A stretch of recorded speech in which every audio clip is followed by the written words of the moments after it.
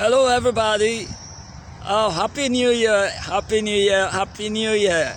Once again, Happy New Year! Welcome to 2019. If you're watching this video, it means that you made it.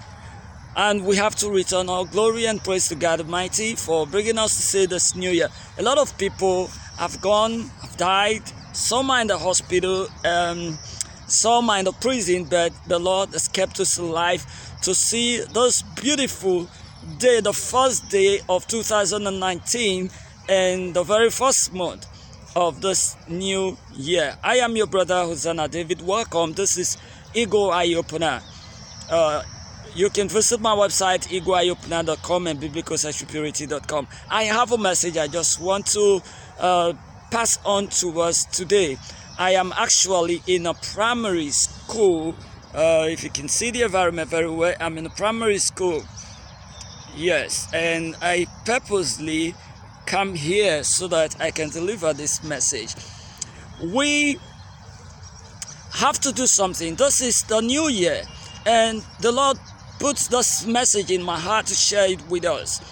Uh, while I was in church, and this is a message I had in my heart, which I believe that the Lord actually put it in my heart to share with the good people of God. I have come to notice something.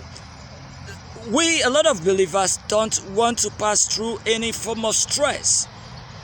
But when I look at the scripture, Jeremiah chapter 4, verse 4, it says that we should circumcise ourselves unto the Lord.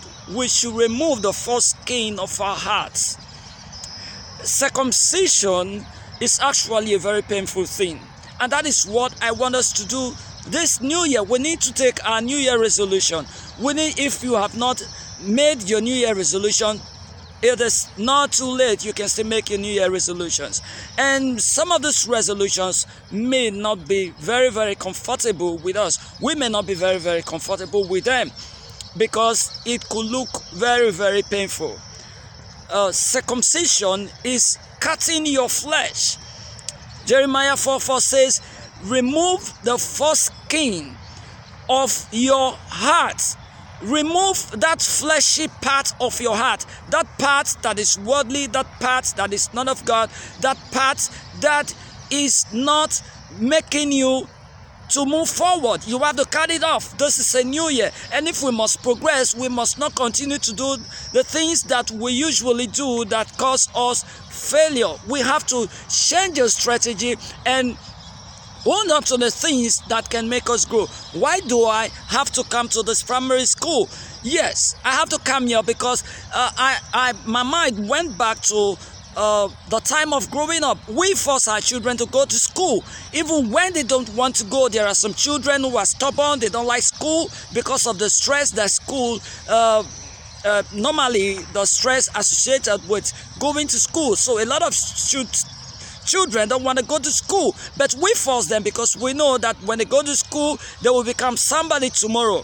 Uh, in our modern society, uh, there is actually no, uh, there are, there is actually very slim chances for illiterate people to succeed in our modern society. So we force our children to go to school. Even when they cry, we make sure we discipline them. We wake them up. We make sure that they read the books instead of enjoying themselves because we know we actually sowing something into their life that they are going to reap tomorrow. John chapter 15, verse 2, Jesus said that if any plant, any branch refuses to bear fruit, if any branch does not bear fruit, the Father will cut it off. That but if any branch bears fruit, the Father is going to prune it and so that it can bring much fruit. Now, pruning is a very painful process. It's cutting some parts of the plant off. And when you do a kind of cutting, pruning like that, it's painful. It's the plant bleeds. It loses some some uh, water and it bleeds for some time, but it is actually for the good of the plant. That is what it is too. God told Moses that the children of Israel should be circumcised. Also, uh, it began actually before the time of Moses in the wilderness. It started when it was uh, the time God was making a covenant with Abraham before God instituted this covenant, he told him that everybody has to be circumcised. You have to cut off the foreskin of the flesh, and it was very, very. It's a painful process. Abraham that same day took a knife and made sure he circumcised every male in his family. Adults were all circumcised. It's a very painful process. If you're doing it as a baby, uh, you may not actually. Uh, be able to tell the story. But if you're doing it as an adult, it is a very, very painful process. Even in the wilderness, uh, before the children of Israel could actually move into the promised land, there was a command that everybody should be circumcised. And there was circumcision of all the adults, including children, all those that were born in the wilderness were circumcised. Why? Because there is the part that they need to cut off, the part that God does not actually want. They need to cut it off. This new year, that part of you that is taking you backward, that addiction, that habit that, that God does not like, that laziness, that gambling, that alcoholism, you need to cut it off from you. You may not be able to do it yourself. You may seek help, you may seek uh, counseling, you may seek spiritual help. Somebody, a Christian brother, sister, to support you in prayer. But one thing is sure you need to make up your mind to cut something off you. It may be painful it may cause a lot of bleeding it may cost you uh, some uh, level of comfort but the most important thing is that you are making progress in life. What do you need to cut off from your life? You need to cut something off. I've looked at my life this year. There are things i need to cut off. I when an ego is uh, is is is flying if it notice if it notices uh, some feathers that are very old, it will pull them all off so that it can bring out new ones, new feathers. What do you need to cut off? Cut off that fleshy part of you that is becoming a barrier between you and your spiritual growth. Don't forget that we, as parents, we force our children to do good. Even though they may not like it at that moment, like what uh, Hebrews chapter 12 says, that no discipline seems pleasant to the person receiving it at that moment.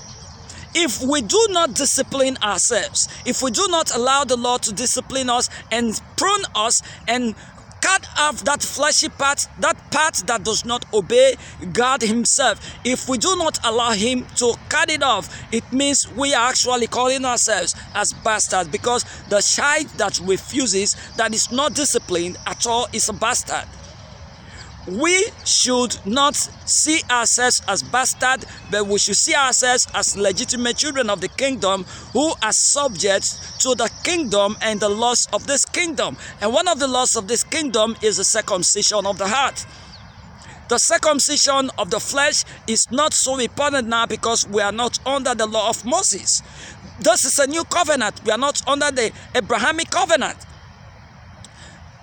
But the circumcision of the heart, because out of the heart the mouth speaketh. What, what speaketh whatsoever thing we do comes from the human heart. Whatsoever thing that is not from our heart is hypocrisy. Is an act of hypocrisy. So let us look inward this year. If you must move forward, cut something off. Share this video cut something off. It may be painful, it may cause you some level of bleeding, may cause you some level of discomfort, but make sure you cut something off. By the special grace of God, you are going to make it into 2020. 2020, you are going to make it, but decide to walk with the Lord and follow your dreams. Don't let anybody make you give up. The Lord is near. Don't stop watching for the return of the Lord. The Lord is near. Keep watching. Thank you and God bless you. Once again, Happy New Year. Share this video and subscribe to my YouTube channel, Hosanna E. e. David and Eagle Eye Opener. Bye bye. God bless you.